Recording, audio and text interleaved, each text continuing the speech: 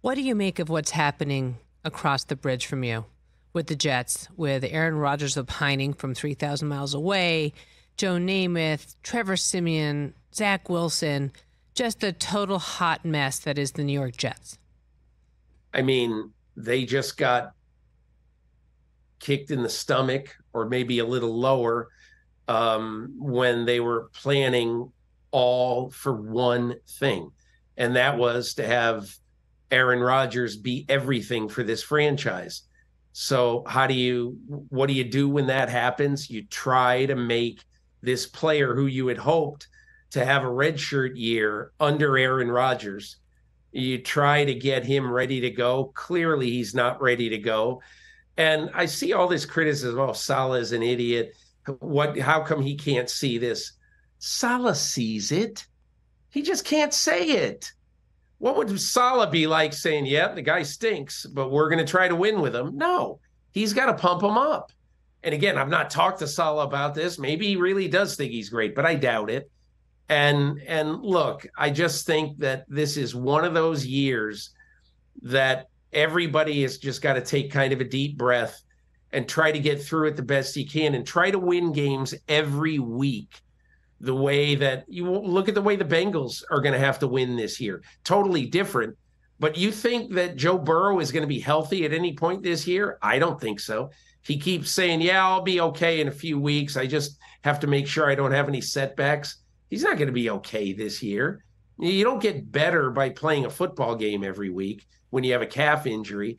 But I, I think the one thing I would say about the Jets is they just got to go into every every game every week figuring out some way, any way to try to keep it close so their defense can win in the fourth quarter. I want to play a soundbite for you uh, from Willie Gay. Let's roll this in and we'll talk about it on the other side. When you look on tape, what are you seeing from Zach Wilson and their offense? Damn. That was a hard question, I can't lie. Uh, the team that want to run the ball, mm-hmm. you know, uh, of course, man, you know, not, that wasn't you know to be funny or anything, but A Rod got hurt and it turned into a team where like in panic mode almost. That's what I see at least, and um, they got great running backs, so now they're just trying to pound it, pound and ground, um, like they did. Uh, what, what, what game was that? Who did they just?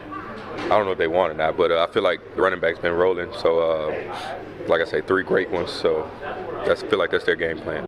So, Peter King, I want to ask you this you and I have been around a while. We're both journalists. I have been offended in prepping for this at how people take other people's work and they aggregate it and they put on a clickbait style headline saying Willie Gay is coming off and he's making fun of Zach Wilson and he's having fun at his expense. And they're making it sound like he was roasting or trolling Zach Wilson. What do you think? You know what I loved about that answer? If you listen to the answer rather than read a snippet of a quote from him, you actually listen to the answer and you say, he's absolutely right. You know, they do look a little panicky in the passing game. And yes, they are trying to win by running the ball. Congratulations. You got a guy who tells the truth. And he did not rip Zach Wilson. No, and you know, it made me think of sometimes when you're on the sidelines and you're in that unfortunate space where you have to ask your coach about the second half adjustments and they say something like, well, you know, if we want to win, we have to run the ball. You're not going to, if you don't run the ball, you're not going to win. It's like, oh, great. Thanks for that piece of information.